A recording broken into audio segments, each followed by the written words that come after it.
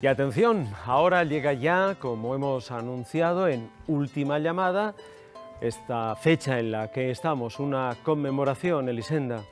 Sí, es eh, un especial eh, última llamada por el Día Internacional del Orgullo LGTBI. Eh, hoy, el 28 de junio, se celebra este día en defensa de la igualdad de derechos y a favor de la libertad y el respeto. Televisión Española y Saber y Ganar nos sumamos a esta reivindicación tan necesaria y por este motivo hoy, en nuestra última llamada, recordamos seis películas que muestran la diversidad sexual y de género. Y estos son los títulos de esas seis películas que deben descubrir a través de las pistas nuestros concursantes. La chica danesa, El beso de la mujer araña, Boys Don't Cry, Elisa y Marcela, Brockbat Mountain, Carol. Bueno, pues tenemos un empate en el marcador ahora, 360, Juan Luis, Rodrigo. Rodrigo, como tiene más acumulado y más programas, claro. Inicia usted la prueba. La primera pista es esta. Dos personas del mismo sexo se enamoran en el Nueva York de los años 50 sin importar la edad ni la clase social. Eh, Elisa y Marcela. No es correcto.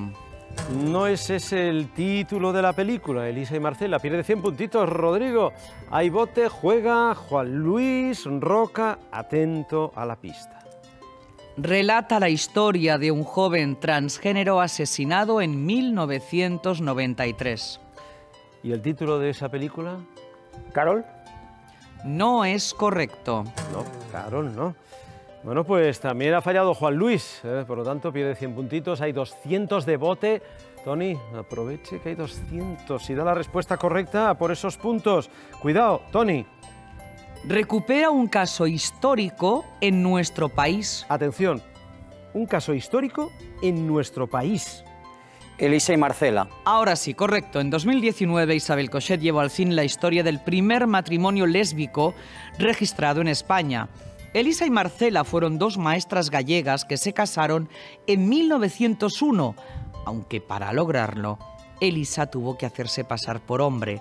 Las actrices Natalia de Molina y Greta Fernández dan vida a la pareja protagonista. Claro, imagínense la situación, 1901, año 1901 en España. Muy bien, Elisa y Marcela, ese es el título de la película de Isabel Couchet. Y Tony, por lo tanto, 200 puntos que suben a su marcador. ¿Cómo cambia la situación? Pasa a la primera posición, Tony. Muy bien, 510. Ahí está. Y seguimos, segunda ronda. Bueno, siguen empatados Juan Luis y Rodrigo. A ver, a ver, cuidado, eh, cuidado. Rodrigo, pista. Por primera vez, un actor se llevó el Oscar por interpretar a un personaje homosexual. El actor ganó el Oscar, piense en la pista, por ese papel. ¿Y el título? El beso de la mujer araña. Correcto.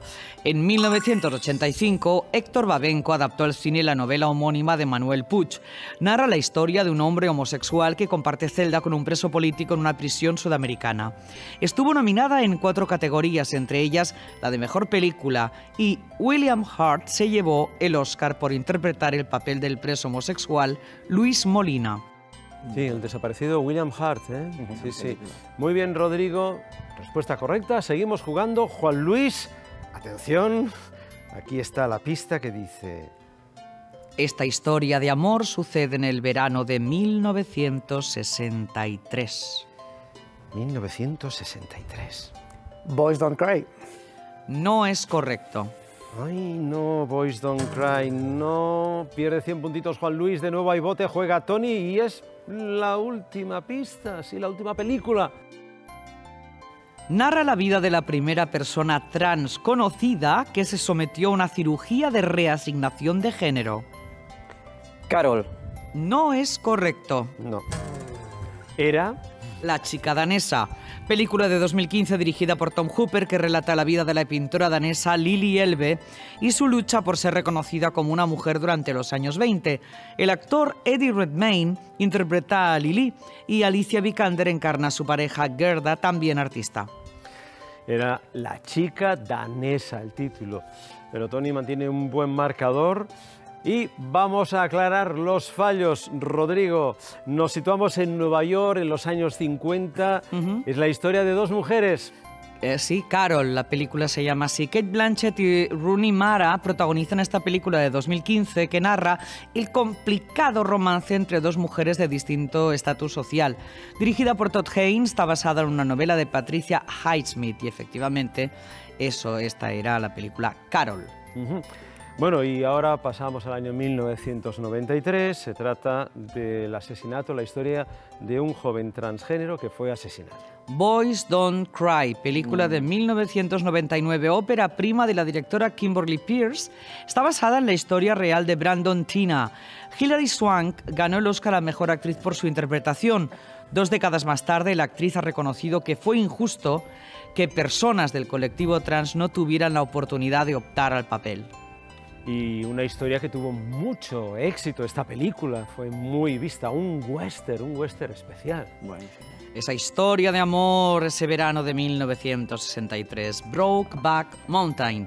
En 2005, el taiwanés Ang Lee recibió el Oscar a, a, Mejor Director por esta película que cuenta la historia de amor entre dos vaqueros encarnados por Heath Ledger y Jake Gyllenhaal. La cinta obtuvo también el Oscar a la Mejor Música Original y Mejor Guión Adaptado. Y todas estas películas han formado hoy última llamada, como decíamos, especial Día Internacional del Orgullo LGTBI. Televisión Española y Saber y Ganar nos sumamos a esa reivindicación tan necesaria y por ese motivo hoy hemos realizado esta prueba.